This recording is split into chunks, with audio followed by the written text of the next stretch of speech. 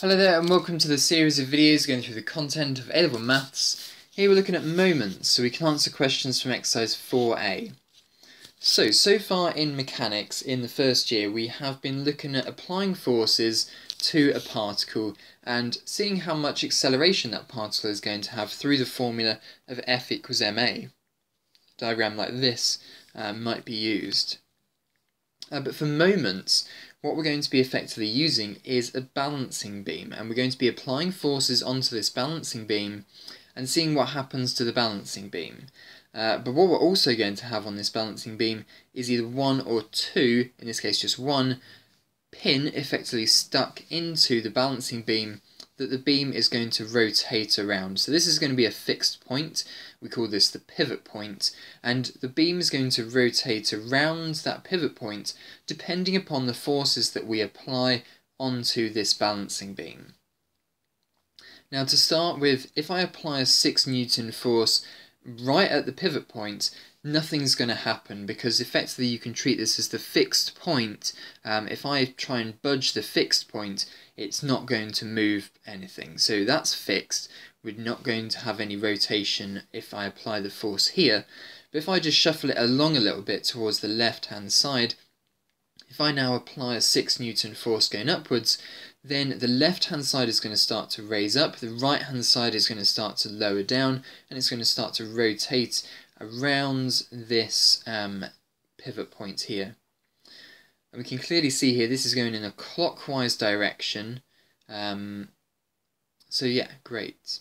Uh, now, how could we how could we increase the spinniness of this uh, balancing beam here? Well, we could number one, we could include this. Um, we could increase this force, uh, maybe to 16 newtons. That will increase the spinniness of this uh, pivot point of this uh, beam. Or we could move the 6 Newton force further out, and that will increase the spinniness of this beam around the fixed point as well. Okay, so the, the key terminology for these bits, the beam, the balancing beam that I'm referring to, will be referred to as a straight rod, a one-dimensional straight object, sometimes called a lamina, mostly a rod though. And the pivot point yeah, well that's that's the pivot point. That's the fixed point, that's the pin that you effectively stick into your balancing beam to keep it where it is. So, when we work out the spinniness of an object, we're effectively working out the moment of that um, of that spin around a pivot point. If it's in equilibrium, then there's going to be no spinning. The forces maybe on each side will balance each other out.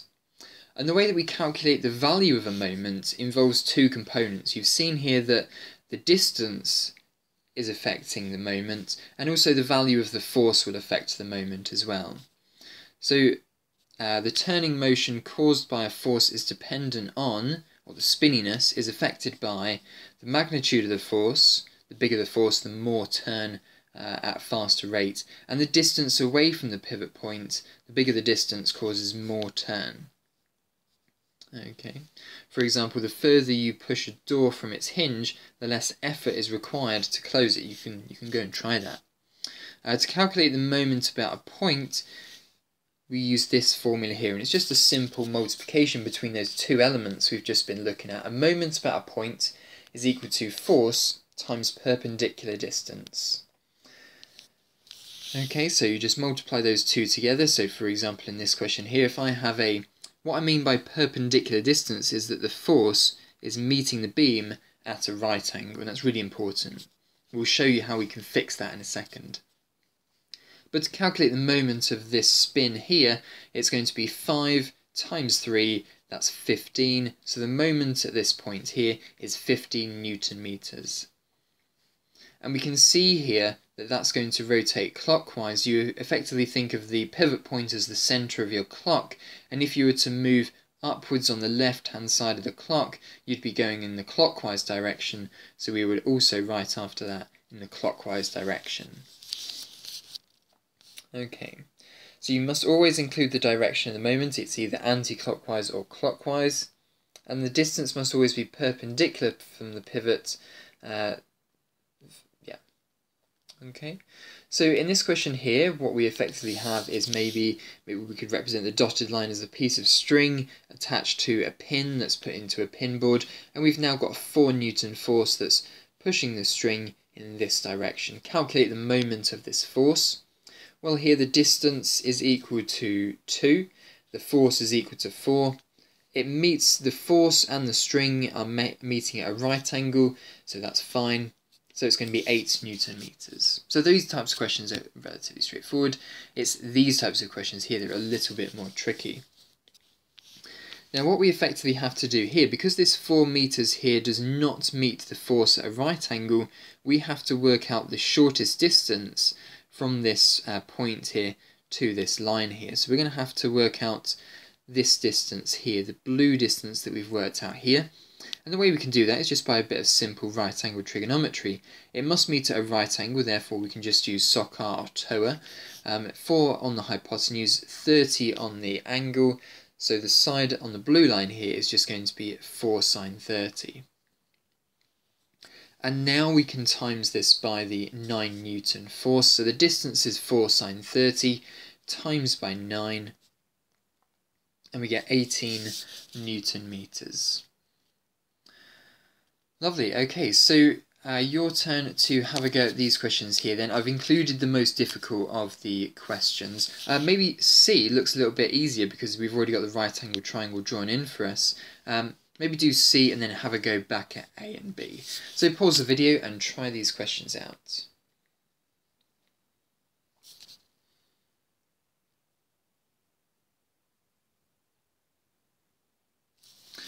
Right, okay then, so I'm going to try C first, it's already got the triangle in there for me. Um, so, I need, I know that my force is going to be 9.5 newtons, great.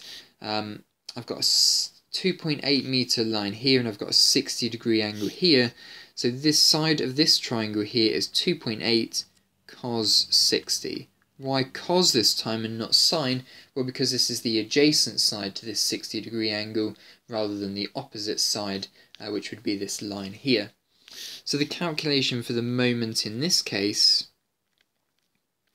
is going to be equal to 9.5 times 2.8 cos 60. I know that cos 60 is a half, so I'm just going to do 9.5 times 1.4 and that gives me 1 point, sorry, 13.3. New units are Newton meters, and I also need to know which um, direction I'm going to be travelling clockwise or anti-clockwise, treating this as the centre of my clock, and if a direction was going in that direction, it would be going clockwise around my clock, so it's going to be clockwise. Okay, now going back to, in fact I'm going to work backwards to B first because I'm A doesn't look that great. Um, I'll draw my perpendicular line in, meeting at a right angle here. Uh, I've got a 7.2 here, 45 degrees over here, so this side here is going to be 7.2, uh, not cos in this case, it's going to be sine because the angle is opposite the side, so it's going to be sine 45 and then it's that's the distance. So the moment in this case here is going to be equal to 6 newtons, because that's the force, times the perpendicular distance, 7.2 times sine 45. So in this case, let's type that all out. 6.5 times 7.2, no, just 6 times 7.2 times sine 45.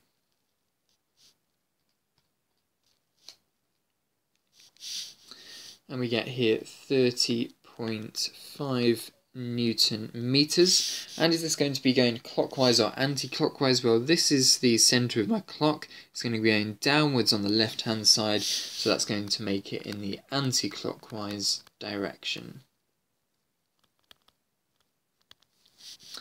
Alright then, and for the final one, now I'd rather this line just be extended a slight little bit so that when I draw my perpendicular in, it is just fitting in right. Um, now I need to work out this side here. Now it's going to be 5 on the hypotenuse and it's going to be sine 30 because it's opposite, because we're working out the length of the opposite side here. So 5 sine 30. So in this case here, the moment is going to equal uh, 4 for the force times 5 sine 30. Sine 30 is equal to 1 half. Half of 4 is 2, so this is going to be 10 newton meters. And will it be clockwise or anti-clockwise? Well, on the left-hand side here, it's going to be going upwards, and that would be in the anti-clockwise direction. Okay, so there we are. Those are the answers to these questions then. Have a go at plenty of the questions from exercise 4a on page 72. Have a go at the exam type questions and the problem solving type questions, but do move on uh, pretty quickly because this is only really touching on the basics of moments. So thanks very much for watching.